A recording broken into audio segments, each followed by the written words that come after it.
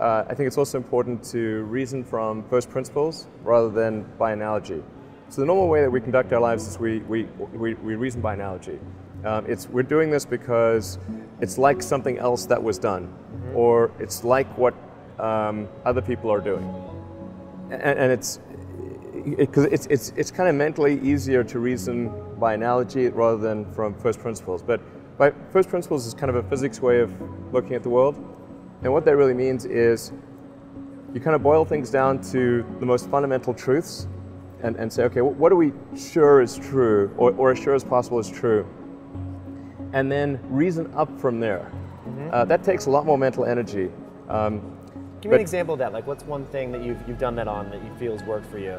Sure. So, um, somebody could say, um, in fact, people do, uh, that battery packs are really expensive and that's just the way they'll always be because that's the way they've been in the past.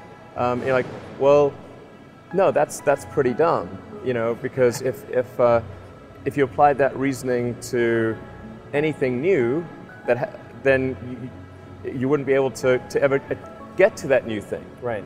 So, so first principles would be to say, okay, what are the material constituents of the batteries? Mm-hmm. What is the spot market value of the material constituents? So you can say, okay, it's got cobalt, nickel, aluminum, carbon, um, and some polymers for separation, and a steel can. So break that down in, on a material basis and say, okay, what if we bought that in the London Metal Exchange? What would each of those things cost? Like, oh, geez, uh, it's like eighty dollars uh, uh, per kilowatt hour. Mm-hmm.